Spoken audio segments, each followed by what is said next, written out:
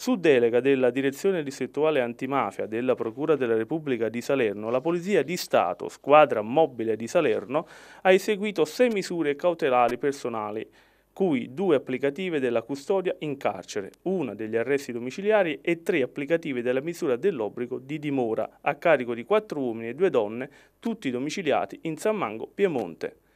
Contestualmente, la Procura della Repubblica, presso il Tribunale dei minori, ha delegato alla medesima Polizia Giudiziaria l'esecuzione di una ulteriore misura custodiale in carcere nei confronti di un giovane che, all'epoca della commissione dei fatti, era minorenne.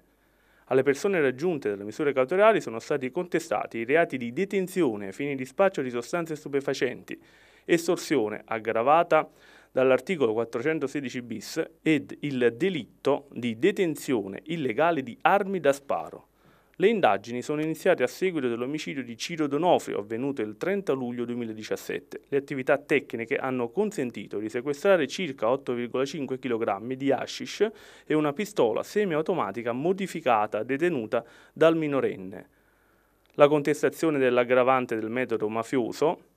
è fondata sulle gravi minacce di morte proferite dal principale indagato nei confronti di un pusher e dei familiari di quest'ultimo a seguito del mancato pagamento di un quantitativo di stupefacente.